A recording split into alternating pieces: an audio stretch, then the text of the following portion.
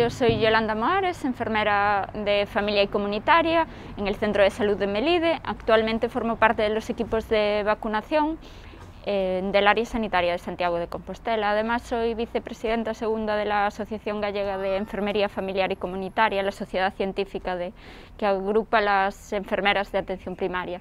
El trabajo tanto de todas las enfermeras como de todas las eh, sanitarias en general ha sido eh, un reto a nivel de que ha necesitado eh, adaptarse según la situación epidemiológica en la que vivíamos cada momento, ante una enfermedad completamente desconocida y que aportaba mucho miedo, eh, inseguridades, dudas.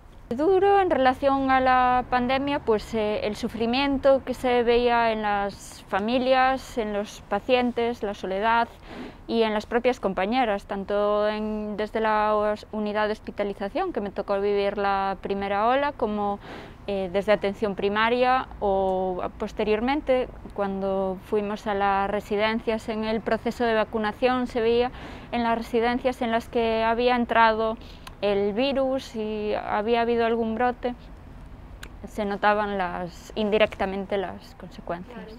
Hemos detectado esta, esta situación y se ha empezado un estudio que analiza el impacto emocional en todos los pacientes que han sido hospitalizados por COVID y han sido seguidos posteriormente por su enfermera de familia para analizar el impacto emocional que está actualmente en proceso. Bueno, la enfermería es un colectivo ampliamente feminizado. La mayoría somos mujeres, aunque cada vez es cierto que más hombres se incluyen a la profesión. También es cierto que los puestos de liderazgo, coordinación y gestión, a pesar de ser una profesión ampliamente feminizada, son ocupados por hombres, enfermeros varones. Esto implica mayor retribución. Una enfermera y un enfermero que ocupan el mismo puesto cobran lo mismo, pero eh, el acceso a un puesto de, gestión, dirección, con mayor retribución, es curioso que eh, lo ocupen muchos hombres en proporción con las mujeres que, que, formamos ampliamente la profesión. Bueno, pues no podría decir una, ¿no? Todas y cada una de las mujeres que han luchado porque hoy podamos estar aquí, ser libres, independientes y empoderadas.